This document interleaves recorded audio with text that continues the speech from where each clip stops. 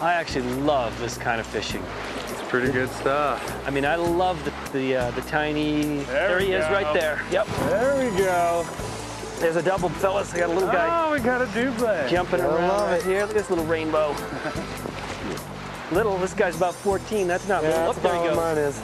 I'm pupped off. All you, Brian. Net meat, please. Yes, sir. Here you go, pal. Thank you, sir. There's one right here. Ooh. Was that a lockfish?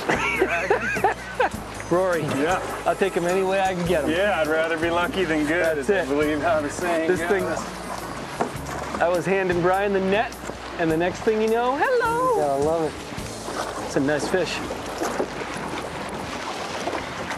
Ain't a bad looking rainbow. Nope. Yep, just letting that letting that Tequeely bounce, and there she is. And I'll tell you what, guys. I mean, we all like the big fish.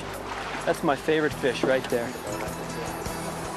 I'm gonna tail end this way. Absolutely perfect. Look at that guy, Rory. Oh, that's a beauty. Yeah. All right. Nice fish.